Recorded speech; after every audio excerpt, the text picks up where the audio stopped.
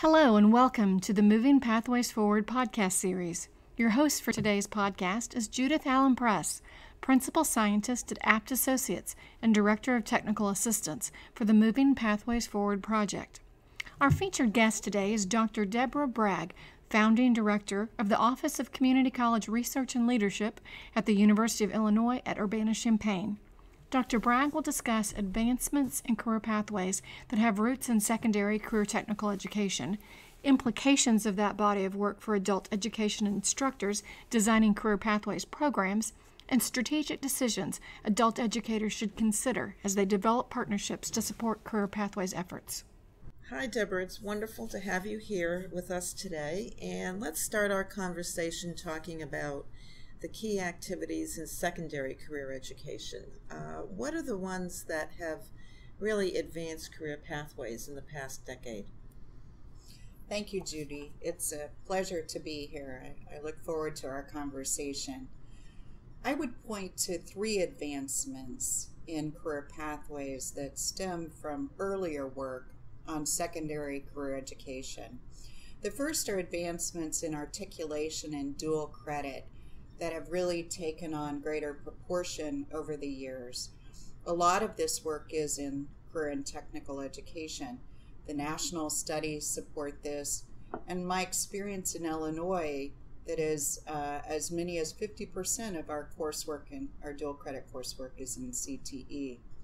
A second area that really relates to better sequencing of courses with credit between secondary and post secondary is aligned with recognizing the need for rigorous programs of study. CTE's long history of serving special needs learners remains important, but additional attention is being paid to all learners, including those who are interested in advancing into academic and technical instruction that begins at the secondary level and advances to the post secondary level. This increased understanding of, of how to create pathways and programs that lead students to two year and four year credentials is important. And I believe there's increased understanding and acceptance of this. A third area really has to do with acceptance of all of this evolution um, and the importance that all students uh, need pathways to improve their economic and their uh, personal well being. You mentioned uh, rigorous programs of study. If you think about that effort along with the National Career Clusters development, what are the implications, do you think, of this type of work for adult basic educators uh, who are beginning to look at career pathways and curriculum development? Well, we know that educators need resources and materials in order to bring about change, and the work in career pathways is really a part of that. The resources that have been developed over the last decade are more through the National Career Clusters framework, including uh, the identification of career clusters that align to sectors of the economy, the career pathways and programs of study are all identified with really tremendously valuable uh, materials for educators. They speak to industry involvement and to the development of academic and career technical frameworks that are useful uh, to developing and delivering new curriculum. So, Deborah, let's talk about the post secondary level. How has career pathways evolved in career and technical education in terms of credential development or program design and other aspects of CTE? I believe one thing we've learned over the last several years is that career pathways are really uh, about a comprehensive package of reforms that assist students to find their, their way through college and into careers. We've seen major developments in the notion of career pathways that have created, I think, an inspired wider range of reforms in post secondary education, particularly the community and technical college con- context. Um, we now understand the importance of structuring curriculum and course sequences in ways that students understand. Um, we know the importance of advisors in helping students focus on what those programs of study are about and helping them understand how they can complete them, including understanding how the career focus is important to their, their future and will help them achieve their aspirations. We know the importance of contextualized and applied and work based learning experiences to enable students to, to learn to engage in this kind of work they, that they've chosen to do. And we know the importance of transitioning students into the workplace.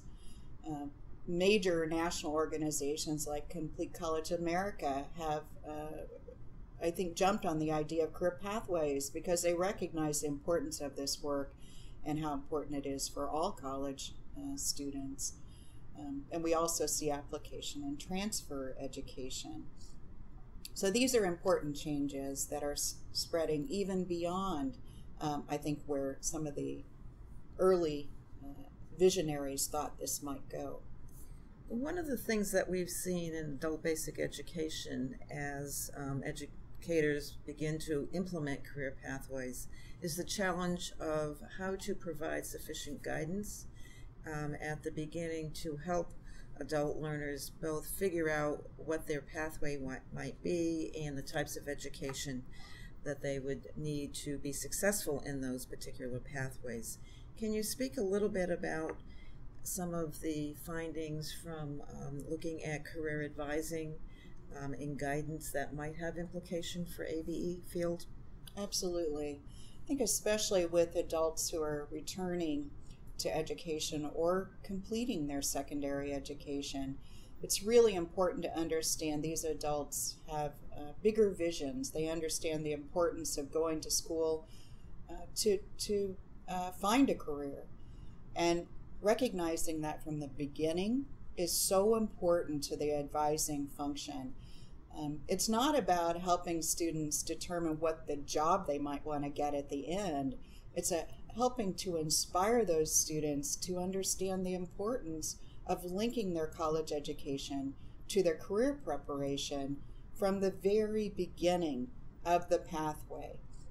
This can happen through um, the creation of career and college advising courses, new models that are being implemented in states like Oregon, where you've had a lot of experience, um, Judy. We've seen this in our research as well, including pathways that start by giving students the opportunity to explore what uh, working in particular fields might mean and whether that is part of what students aspire to do with their careers.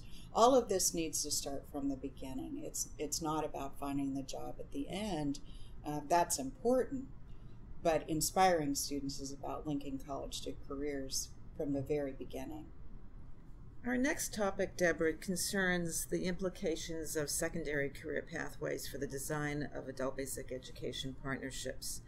What are some of the lessons learned about partnership development and service provision that can help ABE students' development of career paths?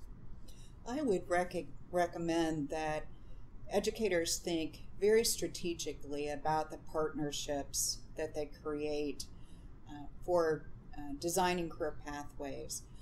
ABE educators in particular need to think about the students who they are serving and the types of students that the services that these students need to be successful. The partnerships need to be inclusive and broad based in terms of the stakeholders who can support students. So, for example, if a large proportion of students are racial and ethnic minorities, English language learners, low skilled or low income, then who represents these groups in the partnership? I'm not talking about general representation. I'm talking about people who themselves have similar backgrounds and experiences and who can be part of concerted efforts to make sure these students' needs are met. This includes program design and program delivery, the identification of competencies, including cultural competencies that students need in order to enter these careers. Deborah, our last topic this afternoon concerns um, the advancements in adult basic education and its use of career pathways. Can you talk a little bit about um, what you've seen happen in adult basic ed? Yeah, after working in adult basic education, for a while as, as a researcher and somebody providing assistance, I became really inspired but by what adult educators are doing in the classroom and their commitment to students. A part of that inspiration had to do with their willingness to try new teaching methodologies. I've seen really very creative efforts in contextualized and applied teaching and learning in the adult education context. In many respects, I believe the adult basic education environment is more conducive to contextualize and apply teaching and learning than the K 12 environment, where standardized testing sometimes rules the day. And content there can sometimes be narrowed to what students know and can do to pass a test. Um, it's hard to teach in a contextualized and applied manner when assessment is focused in this way. And in, in from that respect, I think the adult basic education environment has provided that sort of liberty for educators to experiment uh, with all types of instructional strategies and to really um, try to meet the needs of their students. You raised the question of the challenges of assessing students uh, when the teaching has been contextualized and applied. We know uh, from pa- our past experience in competency based education, which goes back to the early 70s in uh, work with the APL study and then the National External High School Diploma Program, that applied performance assessment has always been an alternative uh, to standardized tests. Do you think that as we move ahead and looking at this type of uh, teaching and learning, that there is a need for new thinking about efficient ways of assessing that are both reliable and valid? Absolutely. I do think the new movement uh, toward competency based education, which, as you point out, is, is really an old movement, revitalized in, in the present day. I do think this is an opportunity for us to, to uh, experiment with and adopt new forms of performance assessment, and it will really be required if competency based education is going to take off. There's a lot of lessons that can be learned from the past, but a lot of opportunity in the current context, I believe, to implement more applied performance assessments. And I hope that we do see that in the future. Great. Thank you very much, Deborah. It's a pleasure talking you, with Judy. you. It's always fun to work with you. Mm-hmm. Thanks for listening today. We hope you'll tune in to all four of the podcasts in the Moving Pathways Forward series, accessible from the LINCS Ed LINCS ED YouTube channel.